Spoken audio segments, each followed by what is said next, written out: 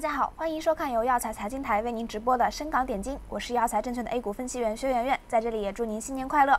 那么在今天的节目开始之前呢，我们先照例跟大家回顾一下今天开盘为止的一个整体的目前情况。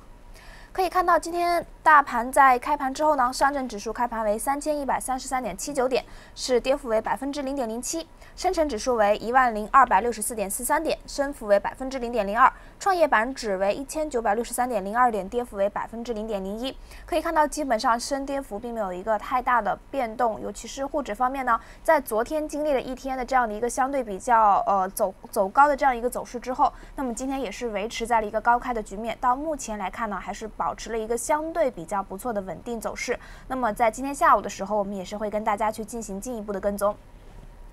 那今天我们想要跟大家去谈的呢，是关于二零一六年整体的一个 A 股的总体回顾，以及这一年的一些重点事件对于 A 股市场本身所造成的一个影响。首先呢，简单来看一下二零一六二零一六年整体的一个 A 股市场的运行情况。那么，呃。这个从图上可以看出呢，基本上在一月四号开盘之后的当天呢，其实也是创下了全年的一个最高点。那么全年累计来看呢，整体的 A 股走势是下跌了将近百分之十二的这样的一个幅度，也是说这样的一年也是充满了变数和波动的一年。那么我们就简单来分析一下。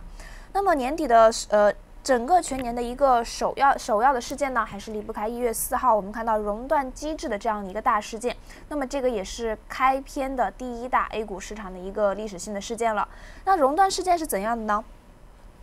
我们知道，从一月一号开始通过的一个熔断机制呢，是在一月四号开始正式实施。那么在首首个交易日的时候呢，A 股就开启了大暴跌的这样一个情况。那我们也是看到一月四号在下午一点多的时候就实现了，就出现了第一个百分之五的跌停。那么在跌停暂停交易十五分钟以后呢，又很快出现了百分之七的跌停，再度跌停，也就完成了当日的一个全日交易。那么同样的情况，类似情况在七号的时候再度出现。而且出现之后，我们也发现呢，其实这样的一个情况在七号是时间更短，效应更大，也是在开盘不久久之后就持就导导致全天的交易就暂停了。所以说呢，其实这样的一个熔断制度在理论和实践尚有一定的差距下呢，可以证明是出现了一次试错的一个尝试。所以就此情况，我们看到也是出现了证券市场上出现的最短的一次政策性的实施，在一月七日晚间深夜的时候呢，就极度被叫停。一月八号开始是停止实施这样的一个熔断制度。那么受到这样的一个影响呢，我们看到沪指是四天跌暴跌了将近百分之十三点八的幅度，同时也造成了市场整体的一个呃情绪方面的一个恐慌。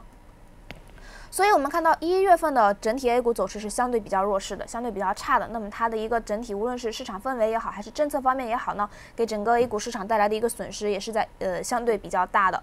那么另外的一个事件呢，我们也来简单回顾一下，在以其实也是以熔断机制为这样的一个出发点吧，就导致了二零一六年二月二十号呢证监会的一个换帅这样的一个情况。那么二月二十号呢，也是经过上面的一个领导去批准之后呢，证监会迎来了新主席刘士余，那么肖钢时代也是就正式结束了。而刘士余上市之后，呃上位之后呢，他所提出的一个主打的是三大监管：依法监管、从严监管和全面监管。那我们其实也可以看到，这一年以来他也是在践行。这样的一个呃一开始的一个所定下的一个理念的格调，那么 A 股市场上无论是包括 IPO 也好，也是包括其他一些，包括后来的险资监管也好，基本上所呈现出来的都是一个相对比较控制金融风险和进行监管加严的这样的一个曲调呃趋势。那么关于肖钢的三十五个月时代呢，也就正式画上了句号。那我们其实看到在肖钢所经历的这样的三十五个月的一个 A 股市场中呢，A 股市场整体的涨幅也是比较大的，有百分之二十六。但是这样的百分之二十六是伴随着三大次股灾，同时也有比较大的一系列的一个股市的一个波动的一个情况所发生的。所以说，呃，在这三十五个月中呢，虽然说涨幅比较大，但是同时波动也比较大，给股民的心理冲击造成的也是相对比较大的。那么在这样的一个证监会人事调整的背景下呢，我们看到市场对于证券市场重新有了一个新的预期，所以在二月二十号之后的一个走势也是相对在经历一个暴跌，在经历一段时间的调整之后呢，也是出现了一个比较稳定的局面，开始上行。那么我们再看到另外的一个事件，就要回顾到六月份的一个 MSCI 事件了。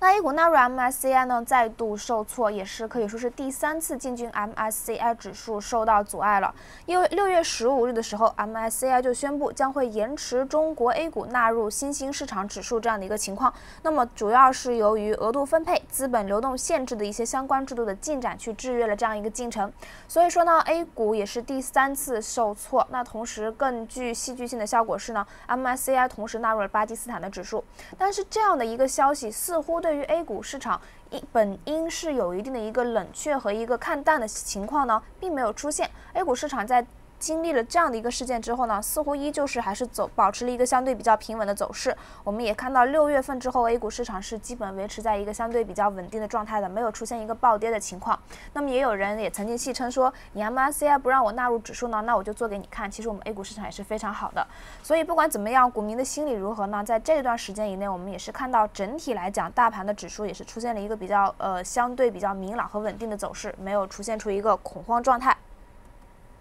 那么接下来要和大家去回顾的，也就是前段时间我们也跟大家讲到过很多次的险资举牌事件了。那么险资举牌事件在今年下半年以来呢，是一度达到了高峰。那么我们也看到，在这样的一个险资举牌的带领之下，很多的一些标呃优质标的的一些蓝筹股呢，都有了比较大的一些涨幅，包括中国建筑、伊利、万科，还有格力空调等。那么这样的一系列上演的险资争夺战呢，就使得这样一系列蓝筹股所带领的一些 A 股市场整体也就出现了一个比较高的走势。那么我们看到，从九月份开始，这样的一个险资的一个争夺战愈打愈烈。那 A 股市场方面呢，也是一路走高，在蓝筹股的带领之下。同时呢，我们也看到，其实整体包括险资所举牌的一些中小型的公司，也是有了比较大的涨幅。那么由于在在这个过程中，有一系列是包括一些财务的炒作成分在内的，所以也使得 A 股市场的一些比较小型的股票有了一个比较大的波动，包括煤业集。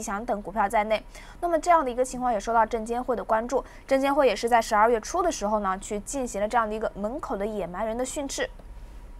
那么在证监会之后，我们也看到保险保监会呢，也是联手证监会去进行了一个监管的一个双重出击。那么在证监会跟保监会的一个双重出击的一个带领下，我们看到险资举牌这一块的一个热潮呢，很快就消退下来。不光是消退呢，我们也看到险资举牌的这样多家的一些，包括蓝筹股也在内也好，还是中小型的股票也好，都是有了一个比较大幅的一个回落，甚至是百分之二三十的一个回落。那么股市受到这样的一个监管，也是长期处在了一个比较萎靡的状态。那么这样的一个情绪呢，也蔓延到债市。我们看到出现了股债双杀双跌这样的一个局面，在十二月份就成为了一个 A 股市场的主旋律。所以其实十二月份来看呢，A 股市场本身所出现的一个情况就是进行了暴跌。那么暴跌之后就出现了一个相对比较萎靡的一个低位震荡的走势，低位调整和整理。那么这样来看呢，就是一个全年走势的一个整体变化了。所以其实总结一下呢，我们其实看到在一月份创下新高之后，在熔断的一个相对带领下，A 股市场出现了一个比较萎靡的状态。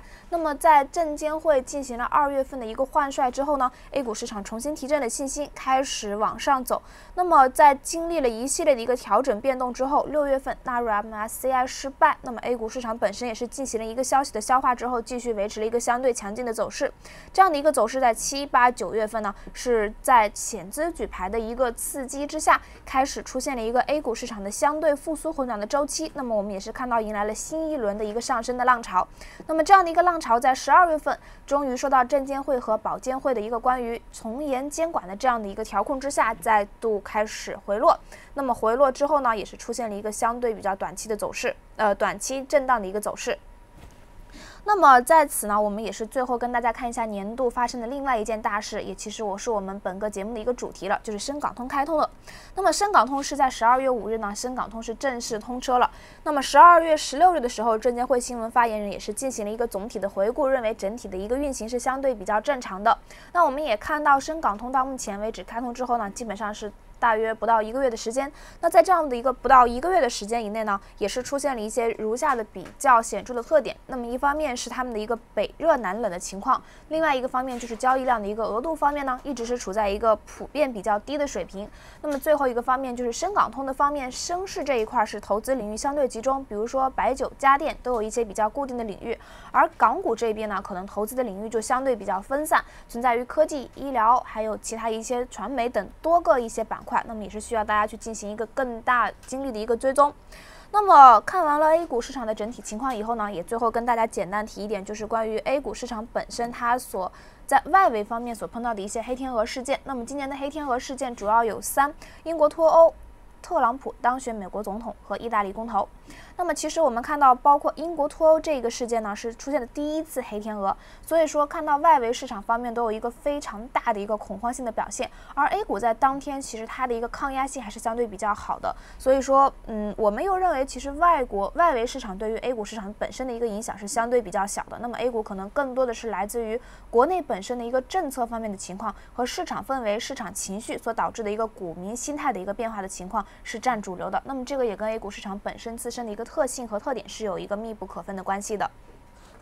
那么好了，由于时间关系呢，我们今天就跟大家整体对于 A 股市场二零一六年的整体走势的一个总结和分析就到此了。那么未来呢，我们也会跟大家去更多的去进行二零一七年 A 股市场新的一个变动和情况，希望大家可以持续关注。非常感谢您今天对于我们节目的收看，以上所涉及到的一些个股和板块，本人均未持有。我们下一期节目再见。